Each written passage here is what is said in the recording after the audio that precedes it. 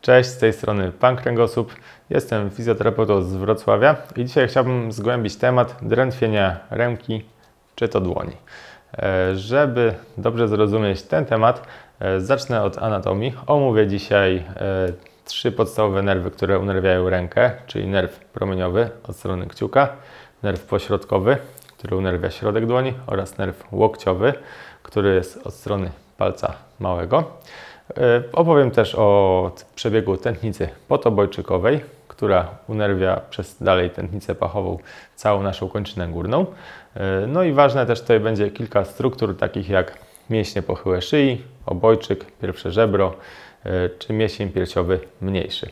Mam nadzieję, że uda mi się trochę przybliżyć ten temat, żeby był dla Was bardziej zrozumiały, a zwłaszcza w kwestii Waszego leczenia.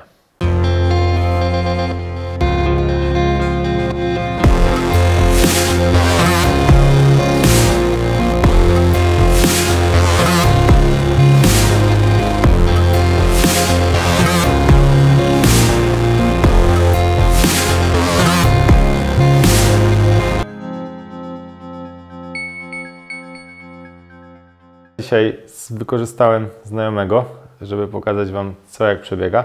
E, może na początek różowym kolorem zaznaczyłem tętnicę potobojczykową. Wychodzi ona z głębi klatki piersiowej i przechodzi tutaj pomiędzy najpierw mięśniami pochyłymi szyi, które odpowiadają za zgięcie lub zgięcie z rotacją kręgosłupa szyjnego. E, następnie przechodzi pomiędzy obojczykiem a pierwszym żebrem. E, I dalej idzie podmieściem piersiowym mniejszy, który odpowiada za e, wysuwanie barków do przodu. No i dalej już tutaj zamienia się w tętnicę pachową, no i biegnie e, zaopatrując ukrwienie naszej całej ręki. Teraz mamy struktury nerwowe, które zaczynają się od kręgosłupa szyjnego i górnego kręgosłupa piersiowego. E, następnie podążają sobie tutaj w okolice szyi, łączą się ze sobą w splot ramienny e, i dopiero dalej rozchodzą się już na poszczególne nerwy, które dochodzą prosto do dłoni.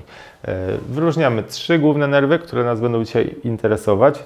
Zaznaczyłem je sobie też trzema kolorami, żeby trochę to bardziej uzmysłowić, jak to wszystko wygląda. Biegną na razie wspólnie. Tutaj też przechodzą między mięśniami pochyłymi szyi, tak samo jak tętnica podobojczykowa, łączą się teraz, przebieg, mają wspólny przebieg. E, też przechodzą pod obojczykiem pomiędzy żebrami, a następnie pod mięsiem piersiowym mniejszym, też tak samo idą z tętnicą, w sumie też z żyłą podobojczykową. I dopiero od tej e, części zaczynają już inaczej przebiegać osobno. E, także w innym odcinku, gdzie będę opisywał te przyczyny ucisku e, struktur już poniżej mięśnia piersiowego mniejszego, opowiem wtedy też o dokładnym przebiegu. Co dla nas będzie teraz ważne?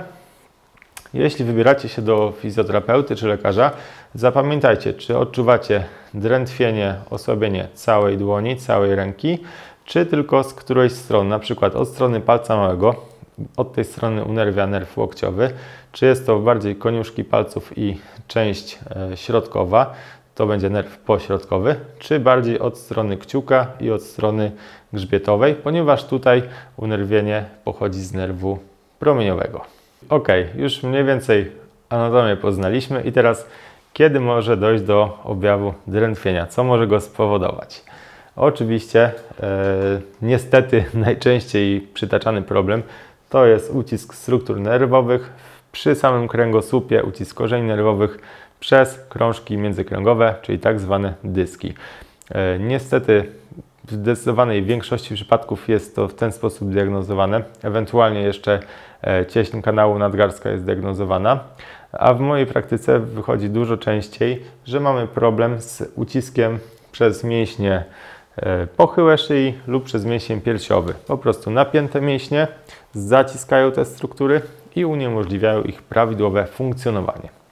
I teraz jak to wygląda w praktyce? Możemy mieć na wysokości mięśni pochyłych e, kompresję właśnie związaną z nadmiernym napięciem tych mięśni, kompresję struktur nerwowych lub tętnicy potobojczykowej. Jak do tego może dochodzić? E, wiecie jak pracujecie, większość z Was pracuje w pozycji siedzącej i przeważnie jest to pozycja nadmiernego zgięcia, zgarbienia. W tej pozycji mięśnie piersiowe schodzą się do siebie, przykurczają się. Tak samo mięśnie pochyłe, mięśnie szyi, jeśli patrzymy w dół, czy to na telefon w takiej pozycji, czy na komputer, który jest nisko położony, e, stwarzamy idealne warunki do zwiększania napięcia mięśni. No i później jak próbujemy się wyprostować, te mięśnie będą bardziej uciskać te wszystkie struktury i pogarszać ich funkcjonowanie. Jeśli chodzi o struktury nerwowe, e, taki długotrwały ucisk właśnie może się objawiać drętwieniem, e, mrowieniem, takim promieniowaniem. E, jeśli to będzie trwało już rzeczywiście długo, może też dojść do osłabienia ręki, będziecie odczuwali mniej siły. E, też u części pacjentów nie ma objawów jeszcze w ciągu dnia, tylko po prostu budzą się w nocy, jakby ta ręka e, jest bardziej podatna na takie niewygodne pozycje. Przy tętnicy podobojczykowej dodatkowo jeszcze możemy zaobserwować, że ręka będzie bardziej blada, może być chłodniejsza od drugiej ręki, także też na pewno warto na to zwrócić uwagę. Mm, co do leczenia tych okolic, jeśli udacie się do fizjoterapeuty, przede wszystkim przy diagnostyce może ucisnąć poszczególne mięśnie i sprawdzić, czy są nadmiernie napięte, czy e, szybciej reagują niż strona przeciwna na nacisk. Także to już będzie takim wskazaniem do leczenia. E, no tutaj autoleczenie pokażę w następnym odcinku kilka ćwiczeń prostych. Oczywiście należy je wykonywać po konsultacji z dobrym fizjoterapeutą, no i najlepiej jeszcze z lekarzem, który rzeczywiście wykluczy problemy przykład z odcinkiem szyjnym, ponieważ przy stanach ostrych no, zdarzają się takie objawy, które są rzeczywiście wskazaniem do konsultacji neurochirurga. Także też warto nie lekceważyć takiej sprawy, upewnić się, żeby nie skończyło się to źle dla Waszego zdrowia. Za parę dni na kanale pojawią się dwa proste ćwiczenia, które możecie wykonywać w domu jako autoterapię. Oczywiście po wcześniejszej konsultacji z fizjoterapeutą, który określi wskazania do tych ćwiczeń w Waszym przypadku, ponieważ też mogą być inne przyczyny, które znajdują się poniżej wymienionych przeze mnie. Także taka konsultacja będzie niezbędna, żeby e, nie zrobić sobie krzywdy i zachować bezpieczeństwo. Jeśli nie wiecie do kogo się udać, e, na mojej stronie pankręgosłup.pl łamane przez fizjoterapeuta e, polecam kilku fizjoterapeutów. E, jeszcze chciałem dodać, żebyście zajrzeli w opis filmu. Jeśli pojawią się jakieś nowe ćwiczenia, czy rozwinięcie tych przyczyn, które znajdują się dalej, to też w opisie postaram się umieścić linki bezpośrednio do tych filmów, które są związane z drętwieniem ręki. Dziękuję za uwagę i do zobaczenia.